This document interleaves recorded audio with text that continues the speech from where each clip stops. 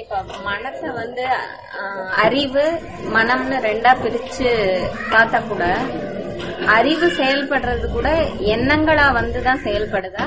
இல்ல எப்படி? எல்லாமே எண்ணங்கள் தான். எண்ணங்களுடைய வடிவில் தான் அறிவும் கூட செயல்படும். ஏன்னா அது சிந்திச்சு ஒரு முடிவு எடுக்கிறதுங்கிறது எண்ணங்களுடைய கன்ஸ்ட்ரக்ஷனுக்கு வந்தால் தான் செயல்பட முடியும். நம்ம சிந்தனைன்னு சொன்னா கூட எண்ணங்களா தான் அது வெளிப்படும். அதான் வலுப்படுது. இப்போ எமோஷன்ங்கிறது வேற எண்ணங்கள்ங்கிறது வேற. இப்ப நம்ம மனசுன்னுட்டு நம்ம சொல்லும் பொழுது அது எமோஷனையும் சேர்த்து கொண்டு சொல்லிடும் தாட்டு திங்கிங்னு சொல்லி சொன்னா அது எண்ணங்கள் மட்டும்தான். ஒன்று வந்து தானா நடக்குது ஒன்று நாமளா அதை ஹேண்டில் பண்றோம். ரெண்டுமே எண்ணங்கள் தான். சரி உணர்ச்சினா அது உடம்புல மனசுல ரெண்டுலயும் ஏற்படுறதுதான். ஆமா அதாவது மனசுல தான் ஏற்படுது. அதனுடைய வெளிப்பாடுகள் வந்து உடம்புடைய நர்வஸ் சிஸ்டம் கெமிக்கல் சேஞ்சஸ் இதெல்லாம் உடம்புல ஏற்படுது. ஆனா அது கூட எண்ணங்கள் மூலமா தான் திருப்பி நம்ம அதை விருத்தி பண்றோம் அப்படித்தானே? ஆ, எண்ணங்கள் மூலமா தான் நம்ம அதை வந்து ஏதோ ஒரு வகையில நமக்கு ஒரு அண்டர்ஸ்டாண்ட் பண்ணணும்னு சொல்லி சொன்னா எண்ணங்களுடைய உதவி இல்லாம அண்டர்ஸ்டாண்ட் பண்ண முடியாது. சரிங்கய்யா. இப்போ வந்து டீப் ஸ்லீப்ல வந்து எண்ணங்கள் இல்ல. ஆமா. அப்புறம் முழிக்கும் போது அந்த நான் வந்துடுது. ம். சிந்தனைன்னு ஒண்ணு வந்தாலே. ஆமா. ஆனா நான் நல்லா தூங்கினேன் அப்படிங்கறதும் அங்க இன்ஃபரன்ஸ் தானா? நான் நல்லா தூங்கினேங்கிறது எக்ஸ்பீரியன்ஸ் கிடையாது. விழிச்சதுக்கு பிறகு நமக்கு ஏற்படக்கூடிய அனுபவங்கள் இதெல்லாம் வச்சு நாமளா ஒரு அனுமானம் பண்ணிக்கிட்டோம். அது நம்மளுடைய அனுமானம் தான் அது.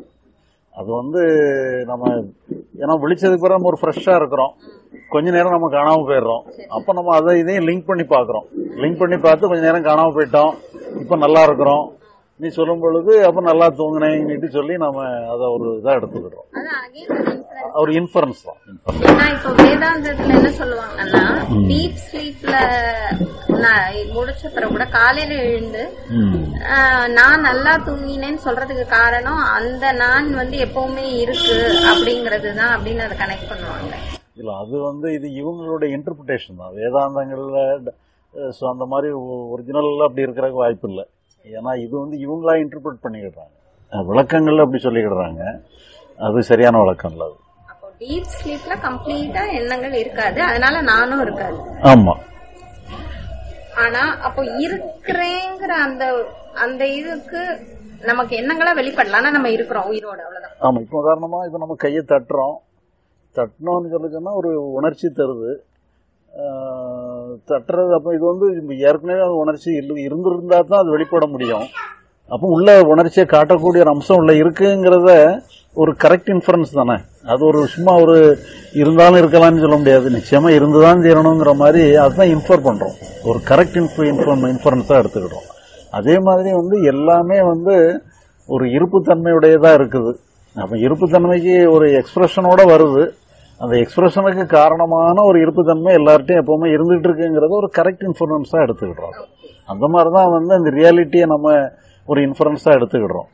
ரியாலிட்டியை நான் எக்ஸ்பீரியன்ஸ் பண்ணிட்டேன்னு சொல்லி சொன்னாலே அது வந்து ரியாலிட்டியே கிடையாது. அப்புறம் அவங்களுமே ரியாலிட்டியை பத்தி சொல்றவங்களே அதை எக்ஸ்பீரியன்ஸ் பண்ணிட்டேன்னு சொன்னா ரியாலிட்டியே கிடையாதுன்னு தான் அவங்களும் சொல்லிடுவாங்க. எக்ஸ்பீரியன்ஸ் நம்ம எக்ஸ்பீரியன்ஸே பண்ண முடியாதுன்னுட்டு சொல்லும் பொழுது பிறகு எப்படி அப்ப நம்ம எதை பண்ணனாலும் வெளிப்பாடுகளாக தானே இருக்க முடியும்? அப்படியே சொல்ல அந்த லாஜிக் வச்சு பார்த்தாலுமே நான் தூங்கும்போது நல்லா தூங்கினேன்னு சொன்னாலுமே கூட அது ஒரு கைண்ட் ஆஃப் எக்ஸ்பீரியன்ஸ் அது ஒரு வெளிப்பாடாக தானே இருக்க முடியும். அதுவுமே கூட அந்த அதனுடைய ரியாலிட்டியினுடைய எக்ஸ்பீரியன்ஸ்னு சொல்ல முடியாது பார்த்தீங்களா ஒரு ஏதோ ஒரு சென்சேஷன் நமக்கு ஏற்பட்டாலுமே கூட அதுவுமே கூட ஒரு எக்ஸ்பிரஷனாக தான் இருக்க முடியும் மொழி அதுவும் ரியாலிட்டியினுடைய ஒரிஜினல் ஸ்டேட்னு சொல்லிட முடியாது. அதனால் அது வந்து அப்படி கிடையாது. ரெண்டாவது என்னன்னு சொன்னால் இதில் யோகாவினுடைய மிக்சர் வந்து கொஞ்சம் கலக்குது. அதாவது சிலவங்களுக்கு வந்து தூங்கும் போதே நான் தூங்கிட்டு இருக்கிறேங்கிற ஃபீலிங் கூட ஏற்படுற மாதிரிலாம் சிலவங்களுக்கு இருக்கும். அது காரணம் என்னன்னு சொல்லி சொன்னால் நம்முடைய சூட்சும சரீரம் வந்து ஆக்டிவேஷன் ஆகிடும் இப்போ சிலவங்களுக்கு வந்து அவங்க அவுட் ஆஃப் பாடி எக்ஸ்பீரியன்ஸ் ஏற்படுது அவுட் ஆஃப் பாடி எக்ஸ்பீரியன்ஸ் ஏற்படும் பொழுது அவங்களுடைய சூட்சும சரீரம் பாடி விட்டு வெளியே வந்துடும் வெளியே வரும் பொழுது பாடி கட்டையாக கிடக்குது. இவங்க வெளியே இருந்து க- அந்த பாடியை கூட பார்க்குறாங்க இப்போ இது வெளியே வந்திருக்கிறனால அவங்க வேற பாடி வேற தனியாவே இருக்கு. இப்போ சில இப்போ சப்போஸ் வந்து உள்ள நம்ம பாடிக்குள்ள வந்த பிறகும் அதனுடைய ஆக்டிவேஷன் கொஞ்சம் இருக்குன்னு வச்சுடுங்க அப்போ என்ன ஆகுதுன்னு சொல்லி சொன்னா அது உள்ள இருந்துகிட்டே அது தூங்குற தன்மையை பார்க்குற தன்மை வந்துடும் அது கட்டையா கிடக்கிறத பார்க்கக்கூடிய தன்மை வந்துடும் அது வந்து அந்த சூட்ச்ம சரீரத்தினுடைய தன்மை தான் இது வந்து ஆத்மாவோட லிங்க் பண்ண முடியாது. அந்த ரியாலிட்டியோடையும் ஆத்மாவோட லிங்க் பண்ண முடியாது. அப்போ அந்த அந்த சூட்ச்ம சரீரத்தினுடைய ஆக்டிவேஷன் வந்து கொஞ்சம் இன்னொரு வகையான ஒரு ஒரு ஸ்டேஜுக்கு போயிருக்குன்னே இருக்கும். அப்ப இந்த ஆத்மானா அதோட வெளிப்பாடு ஜடத்துல வெளிப்படுது. அப்படிதான். ஆமா ஜடத்தினுடைய வெளிப்பாடை மட்டும் தான் நமக்கு தெரிய முடியும் ஒழிய ஆத்மாவுக்குன்னு சொல்லி ஒரு தனி வெளிப்பாடே கிடையாது. ஆனா எல்லா வெளிப்பாட்டுக்கும் அது ஆதாரமா இருக்கு. ஆனா இப்ப இந்த முழிச்சதுக்கு அப்புறம் சிந்தனை வரப்போ இந்த நான்கிறது வந்து அகைன் அண்ட் அகைன் அது சிமிலரா ஒரே அந்த வார்த்தை வர்றதுனால நம்ம கனெக்ட் பண்றோமா? இல்ல மெமரினால கனெக்ட் பண்றோம்? மெமரினால தான் கனெக்ட் பண்றோம். நம்ம எக்ஸ்பீரியன்ஸ் வேறையா இருக்கும். நான்ங்கிறது ஒரு கைண்ட் ஆஃப் எக்ஸ்பீரியன்ஸ் தான். ஆனா அந்த நான் எக்ஸ்பீரியன்ஸ் வந்து சிமிலர் எக்ஸ்பீரியன்ஸ் தானே. இப்போ நமக்கு பயம் ஒரு வேற மாதிரி ஒரு ஒரு அம்சமா இருக்கும். மகிழ்ச்சி ஒரு அம்சமா இருக்கும். கோபம் ஒரு அம்சமா இருக்கும். ஆனா எல்லாத்துக்கும் ஆதாரமா இருக்கக்கூடிய நான் மட்டும் ஒரே அம்சமா தான் இருக்கும். அதனால அந்த நான் வந்து ஒரே ஆளை கண்ணியாடுற மாதிரி நமக்கு ஒரு ஃபீலிங் ஆயிருது அந்த எக்ஸ்பீரியன்ஸ் மட்டும் தொடர்ந்து ஒரே எக்ஸ்பீரியன்ஸ் இருக்கிற மாதிரி தெரிஞ்சிருது. இந்த நான்கிற எக்ஸ்பீரியன்ஸ் மட்டும் சிமிலர் எக்ஸ்பீரியன்ஸ் மாதிரி நமக்கு ஒரு தோற்றத்தை கிரியேட் பண்ணிடுது ஆனா இப்போ அனலிட்டிக்கலா பாக்கும்போது காணப்படும் பொருள் தான் காண்பவனை தீர்மானிக்குதுன்னா அது லாஜிக்கலா புரியுது. பட் எக்ஸ்பீரியன்ஸ் பண்ணும்போது அந்த கேப் கிடைக்க மாட்டேங்குது. இல்ல எக்ஸ்பீரியன்ஸ் பண்ணும் பொழுதே எக்ஸ்பீரியன்ஸ் பண்ணும் பொழுது அந்த ரெண்டு டுவலிட்டியே கிடையாது. எக்ஸ்பீரியன்ஸையுமே கூட நீங்க பழையபடி தாட் ஃபார்முக்குள்ள கொண்டு வரும் பொழுதுதான் அஹ், ரெண்டும் சேர்ந்து வருது. என்னுடைய எக்ஸ்பீரியன்ஸ் எனக்கு ஏற்பட்ட எக்ஸ்பீரியன்ஸுங்கிறதெல்லாம் அதை ஒரு தாட் ஃபார்முக்குள்ள கொண்டு வந்து நம்ம ஃபிட் பண்ண அதை ஃபிட் பண்ணும் பொழுது ரெண்டு பகுதியா பிரிஞ்சிருது இல்லைன்னா நான் அனுபவிக்கிறேங்கிறதும் அடுத்து ஓடிக்கிட்டே இருக்கும். இருக்கும், இருக்கும். பண்ணாட்டா? ஆமா there the meன்றது இருக்கா நானுங்கிறது இருக்கா? though அது வந்து தாட்டுங்கிறது இருந்தால் இருந்தால் இருந்துதான் தீரும். தாட்டுங்கிறது நான்கிற உணர்வு இல்லாதபடி எந்த தாட்டுமே இருக்காது. Every thought as the I consciousness I conscious ஆமா. ஒரு நான்கிற உணர்வு இல்லாத தாட்டே கிடையாது. ஒரு தாட்டுன்னுட்டு இருந்தாங்க நான்கிறது is தீரும். டேபிள்னு ஒரு தாட் எனக்கு வருது. ம். அந்த டேபிள்ல வந்த தாட்ல அந்த திஸ் ஐ கான்சியஸ்னஸ் ஆமா எனக்கு நான் தான் டேபிள நினைச்சிட்டு இருக்கேங்கிற உணர்வு நமக்கு இருந்துகிட்டே இருக்கும். நான் தான் நினைக்கிறேன் நான் தான் டேபிள பத்தி சிந்திக்கிறேங்கிற மாதிரி வந்துட்டு தான் இருக்கும். இப்போ திடீர்னு ஒரு குருவின்னு ஒரு தாட் வருது எனக்கு. ஆமா நான் தான் குருவியை நினைச்சிட்டு இருக்கேங்கிறது வந்துரும். உங்களுக்கு தான் பிளஸ் குருவி. ஆ அப்படிதான் வரும். நானை மைனஸ் பண்ணி ஒரு தாட்டே இருக்காது. அதெல்லாம் மறைஞ்சிருக்கு நம்ம குருவி தான் பிரதானமா தெரியும். ஆனா அந்த நான் அப்புறம் தாட் வரும்போது குருவின்னு தான் வருது தவிர்த்து. இது வந்து ஒரு மறைமுக இதுவா ஆயிடுறது இந்த நானுங்கிறது இல்லையா? ஆமா மறைமுகமா இருந்தாலும் கூட மறைமுகமா இருந்தும் இவர் தான் ஆதாரமாக இருந்துட்டு இருக்கிறாரு இப்போ கனவுல வந்து நீங்க கனவுல நிறைய காட்சிகள் கண்டுட்டு இருப்பீங்க அந்த காட்சியில உங்களையும் நீங்க கண்டுட்டு இருப்பீங்க கனவுல என்னெல்லாமோ வந்தாலும் அதுலேயும் உங்களை நீங்க ரொம்ப ஒன்றும் இம்பார்ட்டன்ஸ் கொடுக்கறதுல நிறைய சம்பவங்கள்ல ஈடுபடுறீங்க. நிறைய வர பார்த்துட்டு இருக்கீங்கனாலும் கூட அதுலேயும் அப்படி பார்த்தாலும் அதுல கதாநாயகன் நீங்க தானே. அவ்வளவு சம்பவங்கள்லயும் நீங்க தான் கதாநாயகனாகவும் இருப்பீங்க. அப்போ அது ஏதோ ஒரு முக்கியமான ரோலை எடுத்துரும். ஞானிகள். அஞ்ஞானிகள்ங்கிற இதே கிளாசிபிகேஷன் கிடையாது. எல்லாரும் ஒருத்தர் தான். இவங்க புரிஞ்சுக்கிட்டாங்க புரியல அவ்வளவுதான். என்ன நடக்கு என்ன நடக்கலங்கிறத புரிஞ்சுக்கிட்டாங்க. புரிஞ்சுக்கிட்டதுனால நம்ம வந்து அது மாறும்னுட்டு சொல்ல முடியாது. ஆமா புரிஞ்சுக்கிட்டா மட்டும். புரிஞ்சுக்கிடுறதுங்கிறது எதை மீன் பண்றோம்னு சொன்னா நமக்குள்ள எதையோ சரி பண்ணணும்னுட்டு சொல்லி ஒரு ஒரு ஸ்டாண்ட் எடுக்காம எல்லாமே ஓகேங்கிற மாதிரி ஒரு ஸ்டாண்ட் எடுக்கிறது தான் புரிஞ்சுக்கிடுறதுங்கிறது அப்போ அது நேச்சுரலாக இந்த இயக்கம் வந்து இயற்கையான இயக்கமாக போயிடுது. இல்லை நமக்கு எந்த பொருள் இருந்தாலும் நம்ம வந்து நம்முடைய தாட் ஃபார்முக்குள்ள கொண்டு வந்த பிறகு தானே நமக்கு தெரியுது. அப்போ தாட் ஃபார்ம் வரும்போது அது நான் வந்துடும் உங்களுக்கு தாட் ஃபார்முக்குள்ள வராத எத்தனையோ இருக்கும். இப்போ நீங்க இங்க இருந்தீங்கன்னு சொன்னா நீங்க எதெல்லாம் உங்க தாட்டுக்குள்ள கொண்டாடுறீங்களோ அது மட்டும்தான் உங்களுக்கு. அதுக்கு தாட் ஃபார்முக்கு வெளியே இருக்கிறதெல்லாம் இருந்தாலும் கூட உங்களுக்கு அது கிடையாது. அப்போ உங்களுக்கு உங்க சிலபஸ்ல எதெல்லாம் வருதுன்னு சொல்லி சொன்னா தாட் ஃபார்ம்ல இருக்கிற மட்டும்தான் உங்க சிலபஸ் இப்போ தாட் இல்லாம கான்சியஸ்னஸ் இல்லைன்றீங்களா அப்ப நீங்க ஃபீல் பண்ண முடியாது. எதையுமே நீங்க ரெகனைஸ் பண்ண முடியாது. Like body consciousness without taking thought form body consciousness is there. no? இப்போ உதாரணமா நீங்க ஒரு ஏதாவது ஒரு நிறைய எமோஷன்ஸ் வருதுன்னு வச்சுடுங்க அந்த எமோஷன்ஸ் வரும் பொழுது உண்மையிலே அது தாட் ஃபார்மா தாட் ஃபார்மா இல்லையான்னு கூட உங்களுக்கு கண்டுபிடிக்க முடியாது ஒரு எமோஷன்ஸ் வருது அப்போ அந்த அப்போ வந்து அந்த எமோஷனல் பார்ட் தான் மெயினா இருக்கும் பிறகு அதை நீங்க அண்டர்ஸ்டாண்ட் பண்ணும்பொழுது தான் அது தாட் ஃபார்முக்குள்ள உங்களுக்கு முழுக்க வருது. இல்லைனாலும் கூட ஒரு எமோஷன் எல்லாமே வந்து அதில் தாட் ஃபார்ம் இருக்குது பட் இருந்தாலும் டாமினண்டா இருக்கிறது வந்து எமோஷன் தான் அதிகமாக இருக்குது அப்போ நீங்கள் அதை அண்டர்ஸ்டாண்ட் பண்ணும்போது தான் அது தாட் ஃபார்முக்குள்ளே ப்ராப்பராக வருது.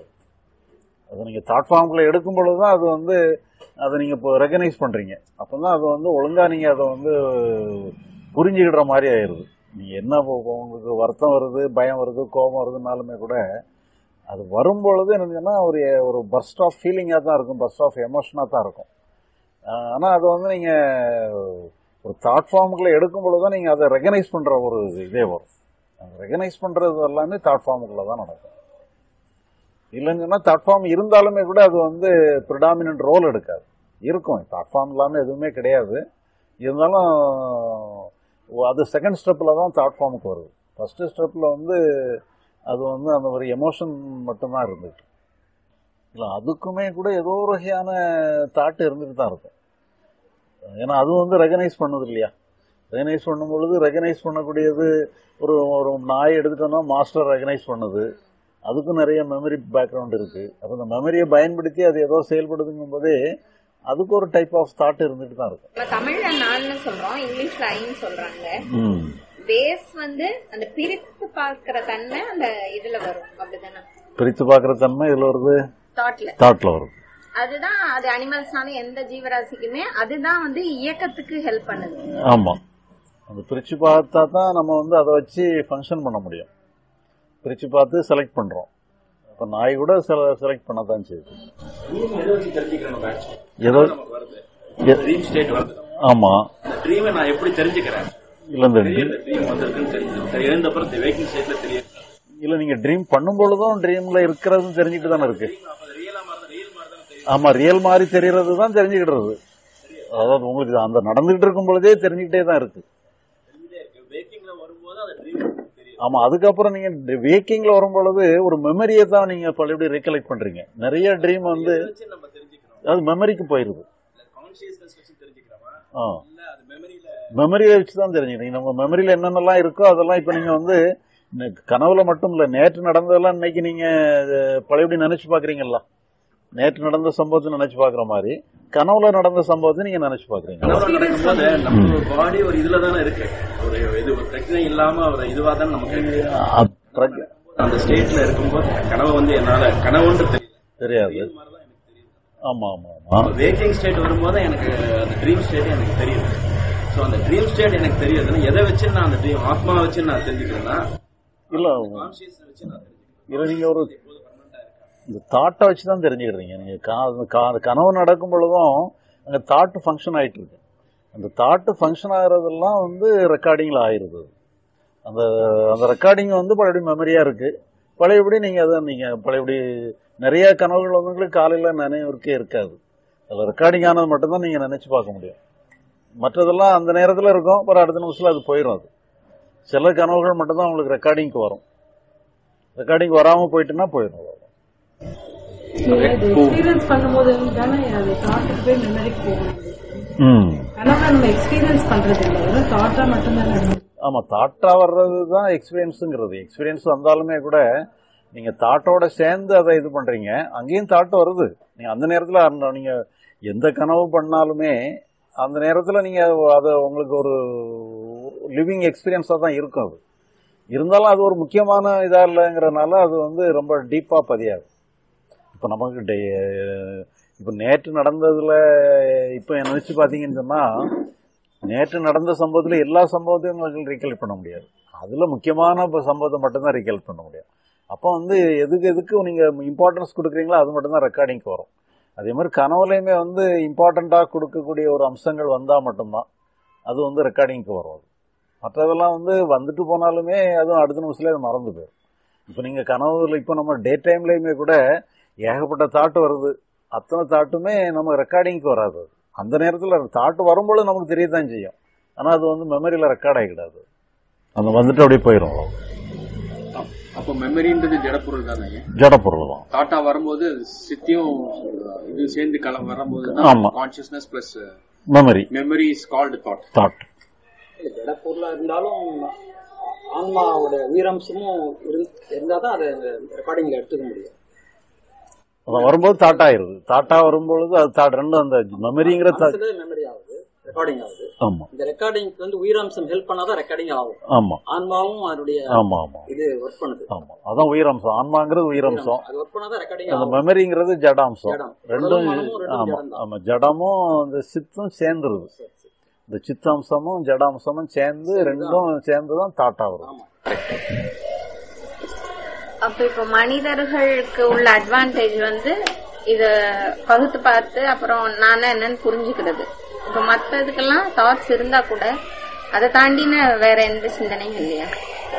இல்ல அதான். அதுக்கு தாட்டு எந்த அளவுக்கு அதுக்கு புரிஞ்சிட முடியுதோ அந்த அளவுக்கு அதனுடைய ஸ்ட்ரக்சர் அமைஞ்சிருது அவ்வளவுதான். அதுவும் தாட்டை வச்சு தான் ஃபங்க்ஷன் பண்ணுது. அது அது ஒரு லிமிடேஷன்ல இருந்து ஃபங்க்ஷன் பண்ணும். அது என்ன ஒரு சின்ன வட்டம் போட்டுக்கிடுது. அந்த சின்ன வட்டத்துக்குள்ள அது முடிஞ்சு போயிடுது. ஆமா அப்புறம் ஏன் நமக்கு மட்டும் விடுதலைன்னு நம்ம பேசிக்கிறோம்? அது இன்ஃபேக்ட் அதுதான் நிஜமாவே விடுதலையில இருக்கு போல. பிரச்சனையே இல்லாம. இல்ல அது வந்து பிரச்சனையில இருக்குன்னு சொல்லி சொன்னா அதுவா திங்க் பண்ணி எதுவும் செயல்பட்டு அளவுல ஒண்ணும் முடியாது. இப்ப நமக்கு வந்து செயல்படுறதுக்கு ஆப்ஷன் இருக்கு. செயல இருந்து விடுதலை அடைகிறதுக்கு ஆப்ஷன் இருக்கு. அதுக்கு வந்து விடுதலைன்னு இது சொல்லிட்டு போயிடலாம். பட் இருந்தாலும் அது அதுக்கு வந்து என்னன்னு சொல்லி சொன்னா அந்த எமோஷனல்ல வந்து அது போக்குல வரும்பொழுது அதனுடைய என்ன மாதிரி அதனுடைய பேட்டர்ன் டிசைட் பண்ணிருக்கு அந்த மாதிரி தான் இது பண்ணும். இப்ப நமக்கு வந்து ஒரு மாரல் ஸ்டாண்டர்ட் எல்லாம் இருக்கு. அதுக்கு எந்த மாரல் ஸ்டாண்டர்டுமே கிடையாது. அது அதனுடைய இன்ஸ்டிங் படி அது பாட்டுக்கு செயல்பட்டுட்டே இருக்கும். அப்போ அது வந்து ஒரு கிட்டத்தட்ட ஒரு மெக்கானிக்கல் ப்ராசஸா மாறிடும். ஒரு இன்டெலிஜென்ஸ் அதுல இல்லை. அப்போ செயலுக்கு வந்து இன்டெலிஜென்ஸ் வேணும். ஃபங்க்ஷனிங்க்கு வந்து இன்டெலிஜென்ஸ் தேவையில்லை. இப்போ ஃபங்க்ஷனிங் கரெக்டாக இருக்கு. ஃபங்க்ஷனிங் வந்து இன்டெலிஜென்ஸ் தேவையில்லை. கரெக்டாக இருக்கு அது ஒரு அனிமல் வந்து கரெக்டாக இருக்குன்னு சொல்லிடலாம். ஆனால் செயலுக்கு வந்து இன்டெலிஜென்ஸ் தேவைப்படும். அது அது இல்லை அங்கே. அப்போ அது செயலுக்கு அது வந்து மைனஸில் இருக்கு. இல்லைங்களே இப்ப புலி பசித்தாலும் புள்ளை தின்னாதுன்னு சொல்லுவாங்க. அது வந்து பசிக்கும் போது மட்டும்தான் சாப்பிடும். தேவைக்கு மட்டும்தான் எடுக்கும். நம்ம அதோட வாழ்வாதாரத்தை அடிக்கும் போதுதான் அது தாண்டி செயல்படுது. அப்போ அது பார்த்தா அது தர்மப்படிதான் அது இருக்குது அப்படிங்கிற மாதிரி இருக்குது. இல்ல தர்மப்படிங்கிறது அதனுடைய இன்ஸ்டிங் படி தான் நடந்துட்டு இருக்கு. அதுக்கு வந்து தர்மம்னு சொல்லி சொன்னா சிந்திச்சு முடிவெடுக்கிறது அது ஒரு மான சாடுவோமா வேண்டாமன்னு எல்லாம் திங்க் பண்றதெல்லாம் கிடையாது. பாவம் இது குட்டி போட்டுட்டு இப்பதான் இருக்கு குட்டி போட்டு பால் கொடுத்துட்டு இருக்கு இதை போய் கொல்லலாமன்னு எல்லாம் அதெல்லாம் ஆலோசனை பண்ணாது. இதான் சந்தர்ப்பம் பாஞ்சிரும் சொல்லி பாஞ்சிரும். ஆனா பசிக்கலன்னா அதே மான பார்த்தாலும் இது குவாய்ட்டா போயிட்டு இருக்கும்.